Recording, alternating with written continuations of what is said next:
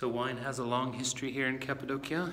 Um, lots of bottles of it consumed regularly, and this is one of the old presses uh, that's here in the Mazen in the wine house at Argos. If you come here, you can take a tour in the afternoons. You can visit, taste some of the wine. Look forward to hosting you.